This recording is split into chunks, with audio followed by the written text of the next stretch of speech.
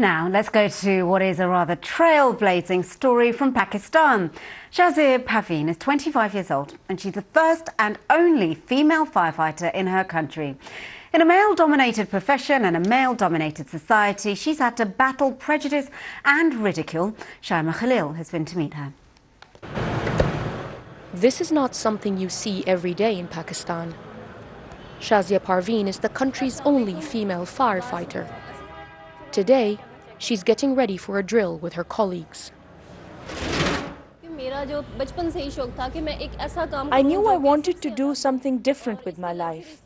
Even as a child, I always thought that way. I also knew I wanted to serve the people. Firefighting seemed very interesting. No other woman had tried it before, and I wanted to prove that it could be done.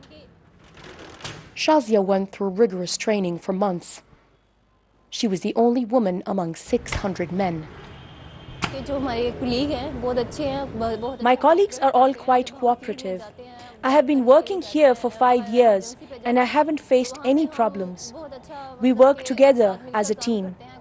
Some of them were quite happy when I joined because I could help rescue women and girls, which they find tricky.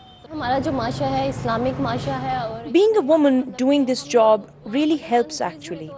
The Pakistani society is quite religious and conservative.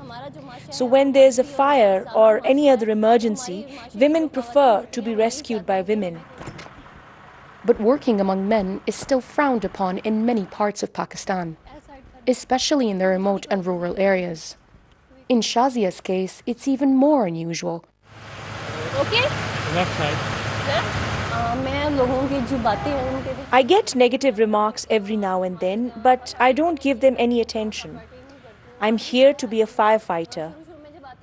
I feel very proud of what I do.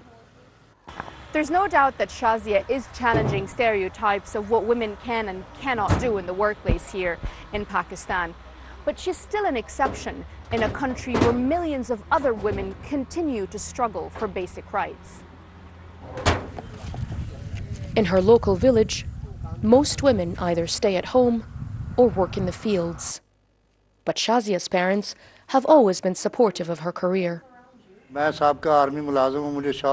an ex-soldier and I wanted my children to serve this country. I encouraged my daughter to become a firefighter and even helped her apply for the job. I think we need more women rescue workers here. Shazia hopes that other families would also encourage their girls to join this line of work. For now, though, she enjoys the fact that she's made history in her country. Shaima Khalil, BBC News, South Punjab.